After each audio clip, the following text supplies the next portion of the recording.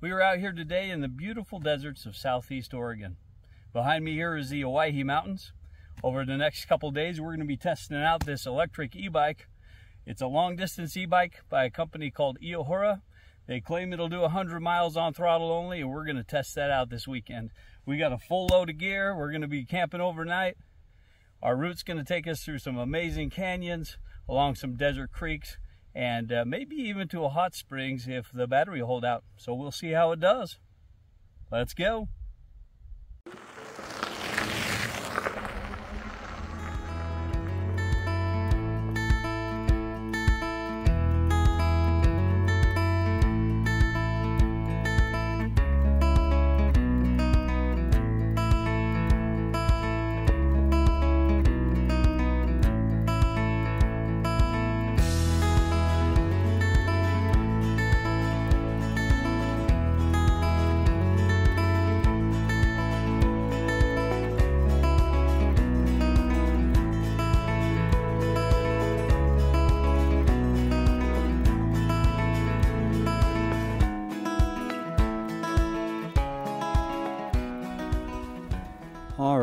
Are about ready to head down into this canyon. This is Succor Creek, and it's a beautiful spot, one of those desert gems that you see. We've traveled, let's see if you guys can see this.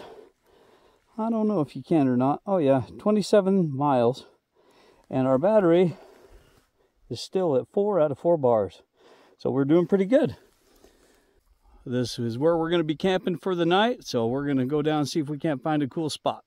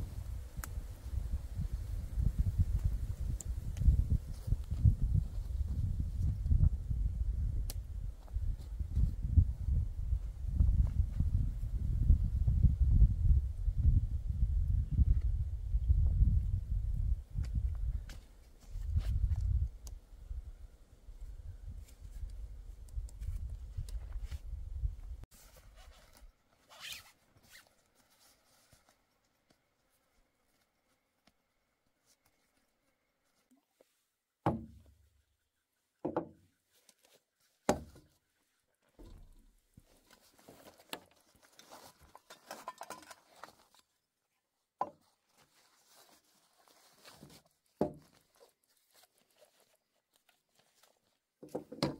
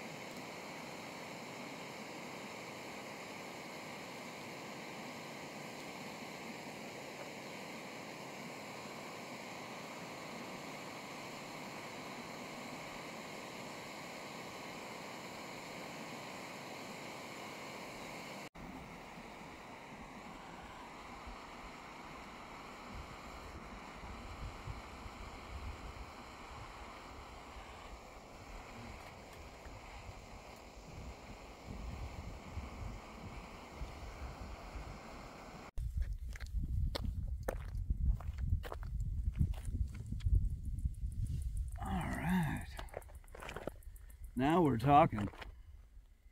It is so nice to be out here. It's a mid-September evening, so it's starting to cool off a little bit, but boy, the solitude and the scenery is just amazing. Nothing like solo camping. It's really the best. Get out, no one around, just you and your thoughts. Get a chance to talk to God. Really clear your head. Man, it's nice to get out. It's been too long. Need to do this more often.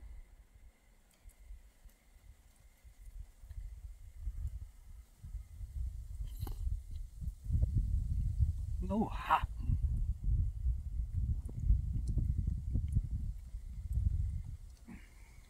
Well, this e-bike did pretty good today. Um, it handled pretty well.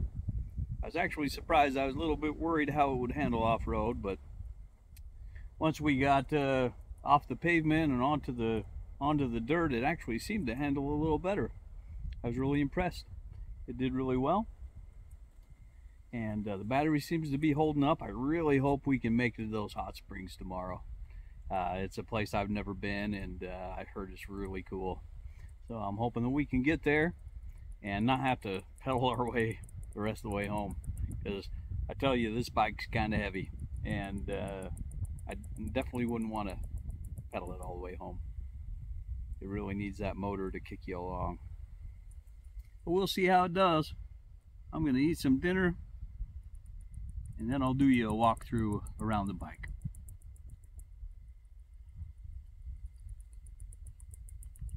Hmm. Well, here's a quick walk around of the bike. This is a long distance electric bike manufactured by a company called Eahora. I bought this off of Amazon The model is a Juliet, not to be mistaken for a girl's bike. Um, they also have a Romeo model that's a little bigger, but the seat doesn't adjust and uh, doesn't have the step through. This is the one that uh, looked like it would fit the bill for me for uh, hunting and adventuring and, and uh, getting out and seeing some country. It's got a 60 amp hour high capacity battery on it. Yeah, they claim it'll do 100 miles on throttle only. We're testing that out this weekend. Um, seats adjustable, full suspension. The suspension seems to be okay for uh, for the bike. You power it up. Oh, here's all your controls over here. You can see today we've done a total of 31.6 miles.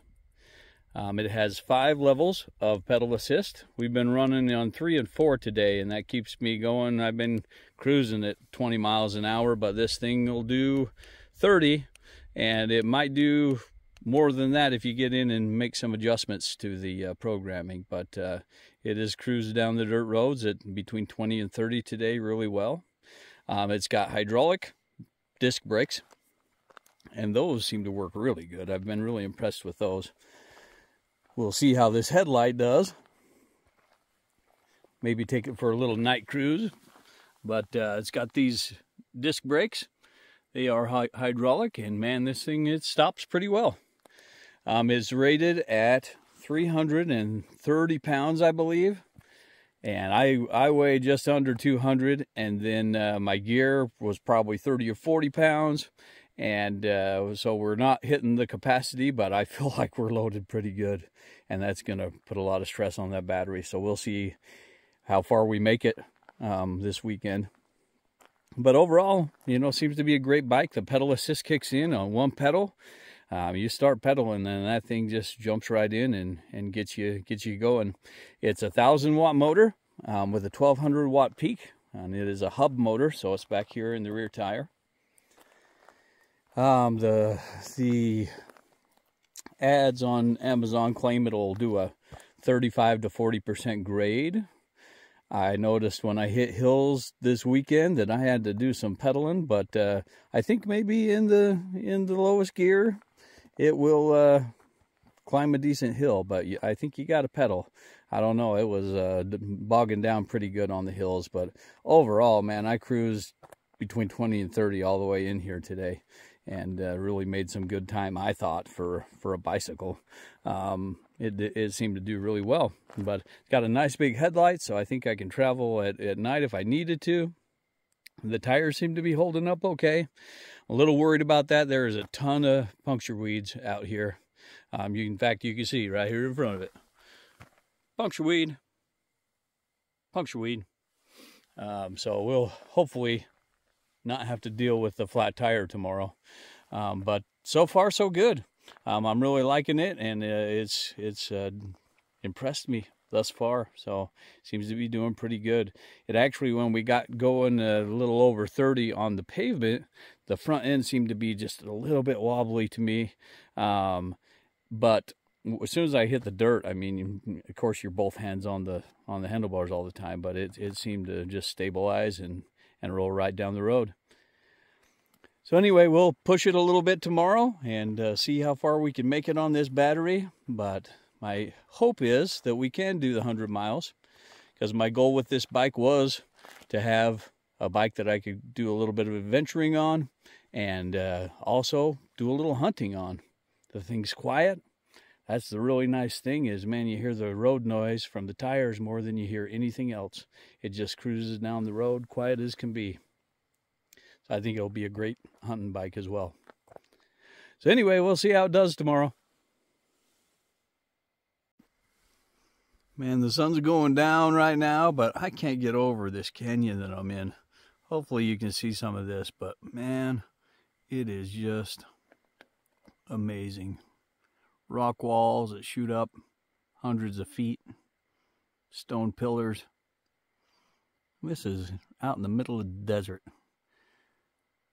This is eastern Oregon, out in the Owyhee Mountains. You know, a lot of people crave the mountains, and being up in the woods and in the trees, and I do too. I really love it as well. But there is something about the treasures of the desert that there's just no denying.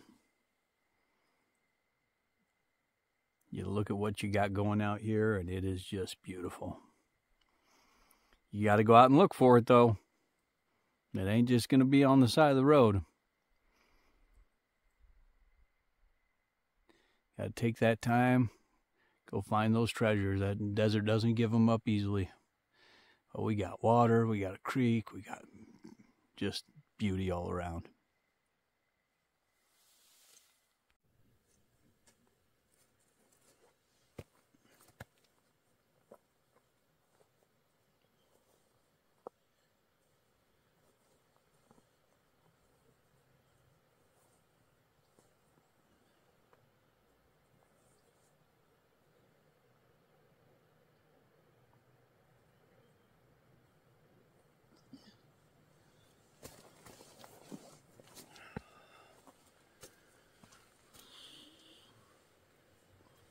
Hmm.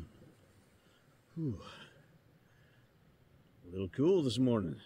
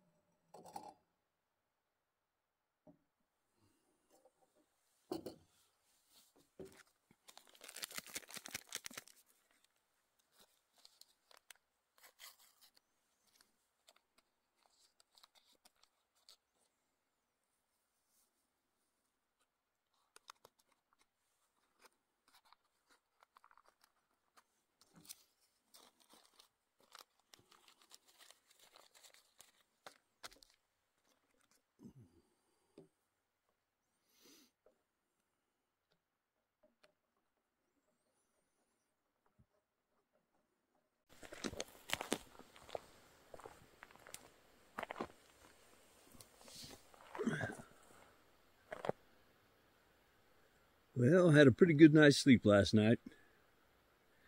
Went to bed with the sound of the crick and the howling of the coyotes. The stars came out last night and man, they were beautiful. I wish I knew how to film and take pictures of the stars. But the Milky Way was right across here. And it was just amazing. Woke up a little chilly this morning, but it's shaping up to be a pretty nice day we're going to go have some fun and see some pretty places.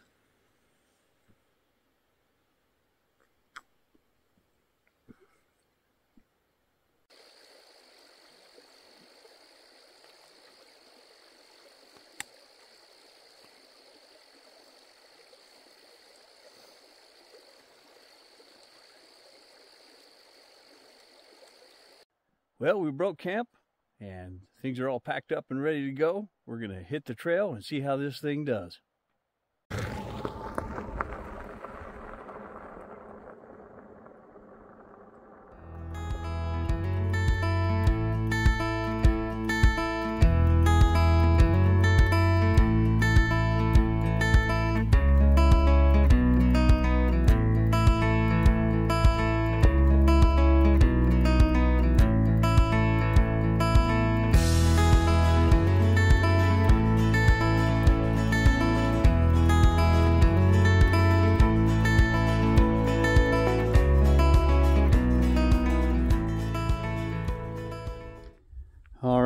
We'll see how it goes here this morning.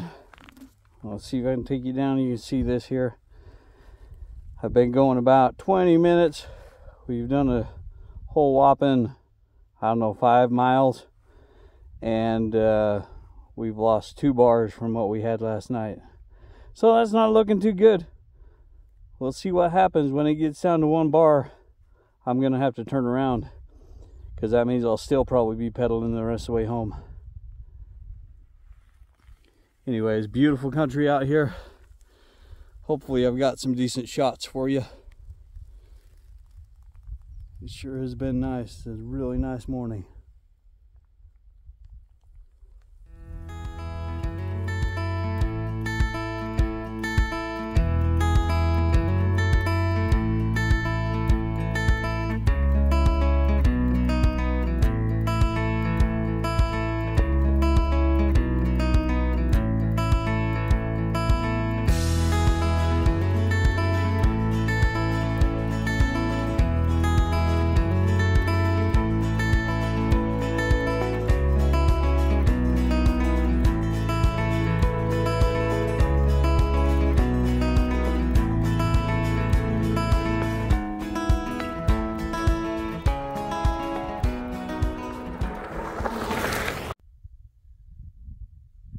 made it out here to the Leslie Gulch turnoff. We got about eight miles to get down into Leslie Gulch. We've done about 42 right now, so that'll put it right at, right at halfway of our 100 mile goal. And uh, we're gonna head on down there. It's just a beautiful canyon. I hope we can make it all the way there. As soon as I get down to one bar, I, am gonna turn around and head the other direction. But Leslie Gulch is just a, a beautiful canyon, big rock formations, and and uh, it's pretty amazing. So I hope we get to see that today. Uh, a minute ago, I turned the uh, uh, bike off and back on again, and it jumped to three bars. So I'm hoping that it's just maybe the cool weather, and we got plenty of battery left. But we'll we'll see. Let's go check out Leslie Gulch.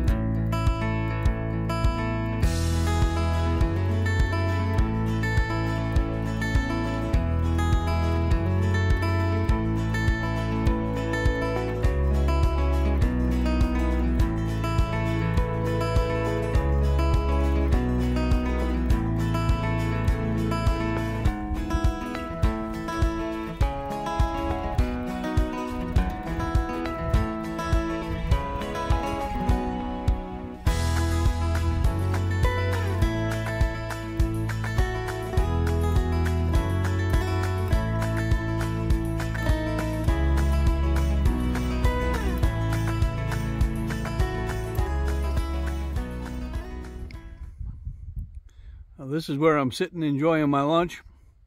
Check out this beauty that's around me. Man, I hope you can see this.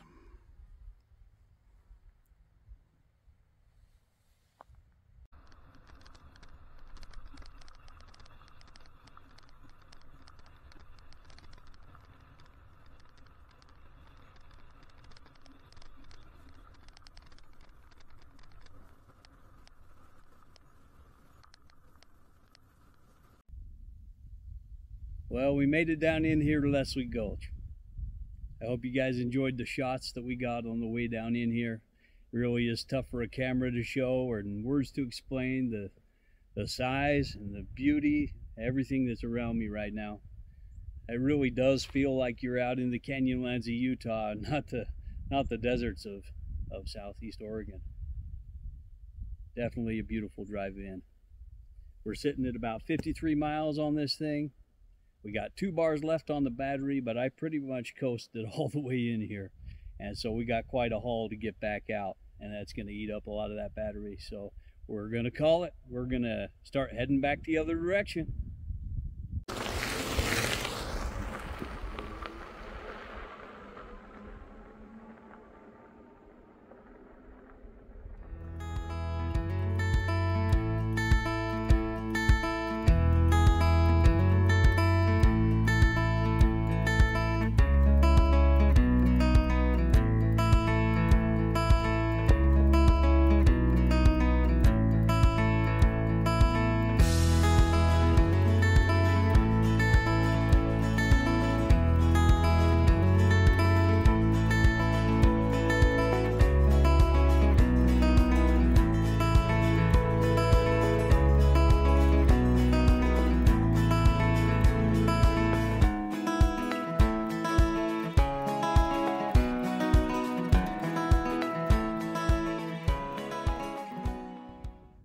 Well, we just hit no bars. We're coming up on 63 miles. Things are still working, but there's nothing left showing on the battery.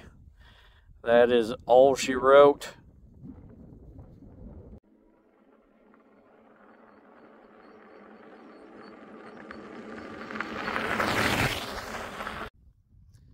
Well, here we are on the side of the road. We made it uh, 64 miles before the battery gave out or it quit pushing me down the road. Luckily, I got a ride on its way. I kind of expected to come up short, so had a plan. And let this be a lesson to you. Know the capabilities of your vehicle before you head out into the unknown, into the desert or into the woods. A lot of people get themselves in trouble because they either run out of gas or run out of battery or uh, don't don't prepare for a for the unknown. But uh, always have a backup plan. Always have somebody knowing where you're at. Pack a little extra water, a little extra food, so that you can stay a little longer if you have to. But uh, anyway, it's been a good trip. It's I feel like capability wise, I mean 64 miles with the weight that I carried and the terrain that I put it through. Really, I think it did pretty good, all in all. Nowhere near the 100 miles that it claims it'll do, but I'm sure that's optimal conditions, right? That's like a solar panel. You'll never get the wattage of a solar panel that it says. But we put it through a good test. I think 64 miles is pretty good. I take that up hunting and I'm base camping, that'll get me to a lot of different places. Um, or, you know, if I camp and want to take it out for a few jaunts, hiking trails, I'd like to see how it does on some single track. Maybe we'll do some of that. But anyway, it's been a good trip. Bike performed all right. We'll do some more tests on it. Thanks for being out here with me today.